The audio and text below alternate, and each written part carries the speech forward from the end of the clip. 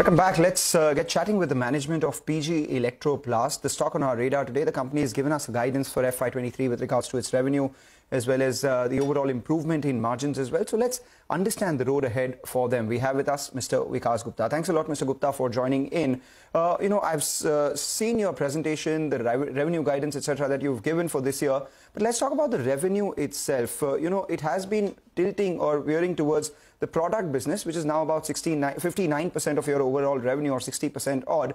Just wanted to understand uh, how much of that is designed by you, ODM, and uh, with the other part of your business, plastic molding, what's the margin differential between the two, uh, both your product business as well as your uh, plastic molding business?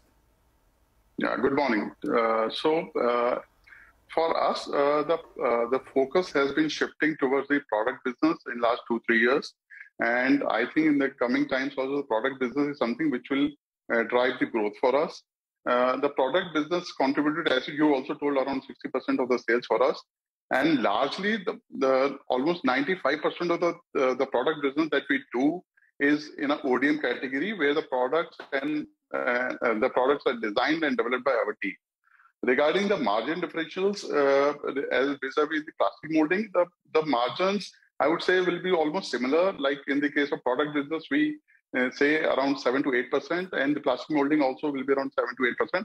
But the main catch in this is the asset turns that we are able to drive through product business are much better as compared to the plastic molding business. You want to give us a number there? How, what's the difference on the, on the asset turns? What is the difference since you're saying yeah. that that's the differentiating factor? So the plastic molding will give us an asset turn of around one and a half to two, whereas in case of product business, we can get an asset turns of almost five to six. Okay, all right. Oh, that's a big jump then. Uh, you know, Mr. Gupta, your stock has been buzzing around, so I wanted just to ask you some basic questions. You have given a guidance, you know, and it's uh, eye-popping that a management gives a guidance in absolute terms on the EBITDA front. Be that as it may, you have given a revenue guidance of close to around 1800 crores, EBITDA guidance of around 125 crores. Do you stick to this guidance? That's part A. And part B is you're saying you have a good order book on the product side but you have not quantified it. I request you to quantify so, it. Yeah, so I'll tell you, like in when we are given a very specific guidance uh, uh, in, in our case, so we are very confident on that. Uh, just to give you an idea of that, we already achieved a sales of more than 500 crores in the quarter one. Hmm. And we are in line for achieving the sales of 1800 crores and the EBITDA projection of around around 125 to 130 crores that we have given a guidance already. Mm. The order book that we have with us uh, is that, like in the case of uh, RAC business, uh, uh, we are seeing a, a very strong uh, momentum for us. the last season for AC has been very strong, and we have been able to tie over two, three new large national level brands.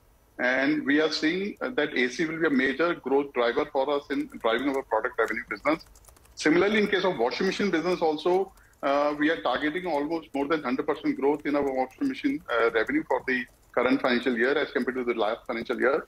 So uh, we are doubling our capacities in washing machine. We have almost uh, doubled. Uh, Mr. Gupta, under the capex cycle. Mr. Sorry. Gupta, what yeah. is the? Uh, you could, can you quantify the order book? You know that that that's what we, what we want to get. You have given quite an elaborate so, presentation, so we like to know a couple of numbers. Go ahead.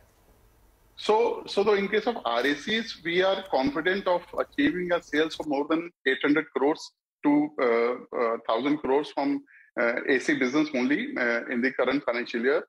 And the, in case of uh, uh, washing machine business also, we are targeting a sales of almost around 300 crores to 350 crores. The plastic molding itself will contribute almost around 400 crores and the electronic will contribute to almost 150 to 200 crores.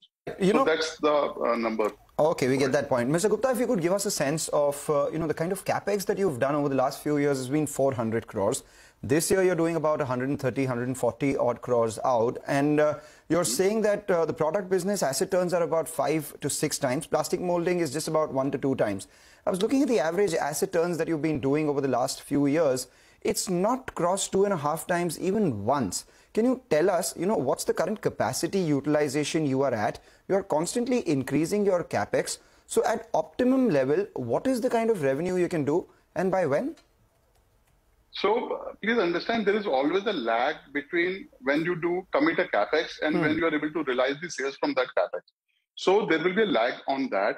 But we are confident of achieving asset turns of almost four to five in our product business in the in the in the coming financial year as well.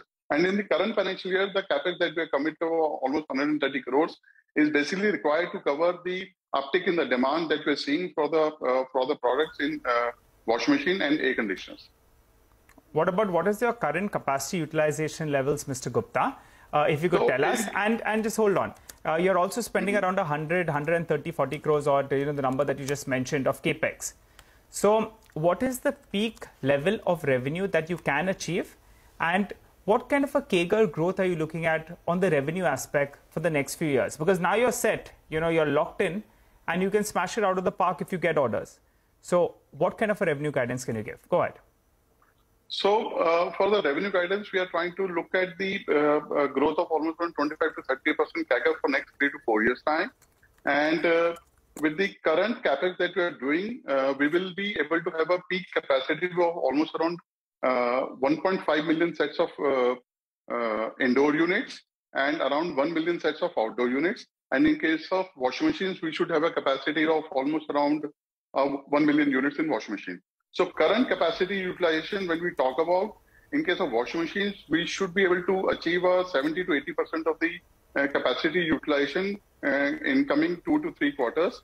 In case of air conditioners, because the AC business is very seasonal, we should be able to achieve a, a capacity utilization on annualized basis of almost around 60 to 70%. Right. But whereas in case of the peak, during the peak months, the capacity utilization is more than 100%. Right. So, you know, I am uh, just doing some math out here. You say that you can grow at about 25% uh, CAGR for the next uh, three to four years. 25% CAGR over 1800 crore, the guidance that you've given would imply that you come to about 35 to 3600 crores over the next three to four years. Is that math correct? And this yes, is without definitely. any further capex.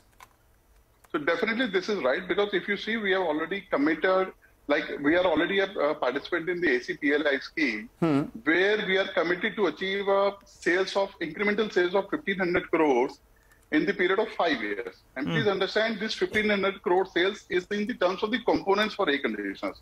When we talk about the complete product, definitely this sales will be more than 3000 crores in AC alone in next four to five, in, in next three to four years time that we we targeting to achieve.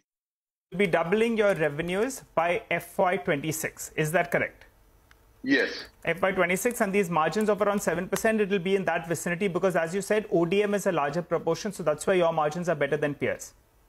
Yes, definitely. Mr. Gupta, you know, final couple of questions hmm. before we let you go. The stock price has seen a big run, but the DI, that's the domestic institutional participation, is not a lot. Have you been getting inquiries or is it largely HNI driven? So basically, this is something that uh, we are in discussions, but I cannot uh, divulge the details right now. So it, uh, we are. But no, you. The reason I ask you, the reason I ask you, Mr. Gupta, is because word of mouth, you know, all sorts of other uh, news rumors we get it. But you'll be getting the BENPOS right every week. So uh, are you observing some institutions' names coming in there?